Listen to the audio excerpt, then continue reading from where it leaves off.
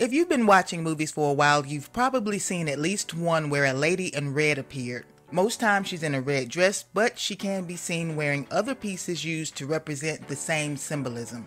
The Whore of Babylon in the Bible, Kuchisake Onna in Japanese legend, the general wearing of red in Celtic folklore, and the Lady in Red ghost sightings, as well as many other variations, form an overwhelming consensus that seeing a woman in red is a warning of impending risk or danger, but this isn't always the case. In American movies, red in general is used to represent temptation, love, and passion, or death. There are some times when the color may be thrown in just for the sake of it in lower budget films, but in most cases and in terms of larger films with larger budgets, this color is used in a context tied to a deeper meaning or representation. In some instances, is used to represent a double meaning within the same character, creating multiple levels of interpretation or a symbol within a symbol.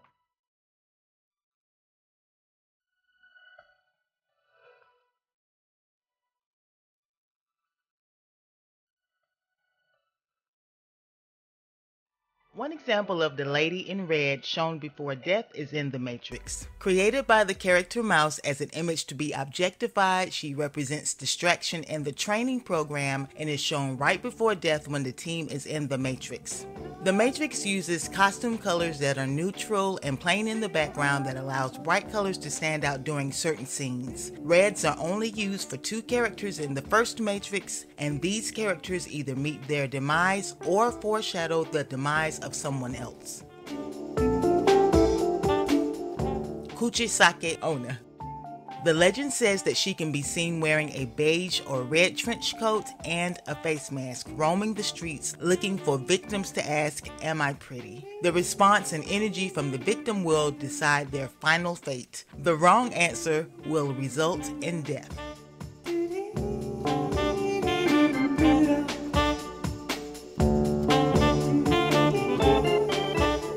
Another interpretation of red is passion or love. An example of this is seen in Pretty Woman worn by the character Vivian played by Julia Roberts. When we see Vivian in this memorable scene, it's the first time Edward Lewis played by Richard Gere expresses a level of admiration through his facial expressions. Her character was already endearing, but the red dress scene allows the audience to fall in love with her character even further. Slippery little suckers. Along with passion and love, red symbolizes death here too in a way.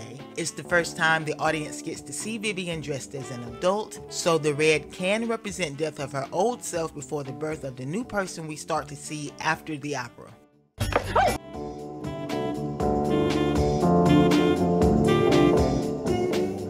Niobe, played by Jada Pinkett Smith, is the previous love interest of Morpheus and the current love interest of Captain Lock in The Matrix Reloaded. Her character is presented as passionate in regards to her missions, and she still has a soft spot for Morpheus.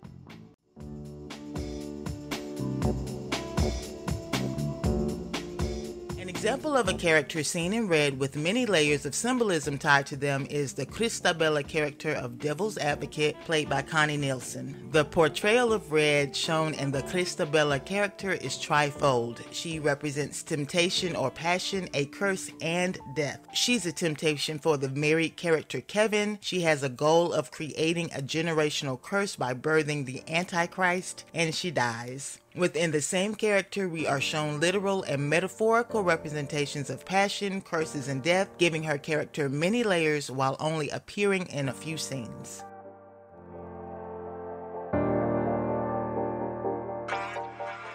Earlier in this video, I mentioned that some movies don't seem to have deeper meanings tied to the costumes worn by the characters, and 365 Days is a prime example of this. In 365 days, we have an example of where the color may mean something or absolutely nothing at all. Laura, played by Anna Maria Sigluca, I'm sorry if I jacked that up, wears a red dress during a shopping scene and in a club after her new hairstyle. Based on the ending outcome of her character, it can be deduced that red is used to represent death, but based on the plot, the script, the characters, and their interactions with each other, this simply can't be confirmed. This is an example of a smaller budget film that may have been less concerned with symbolism and more concerned with the impact created by seeing the main character in certain outfits that happen to be this color. Red has its general meanings, but context is important when trying to predict the character's motives or the part they'll play in the grand scheme. Movies are an avenue of artistic expression, and in art, the ideals and beliefs of the artist are infused within the set, costume, and overall feel, immersing the audience and leaving clues that may have more depth and significance than initially expected. And on that note, have an awesome day. Be good to yourself and good to others. Peace.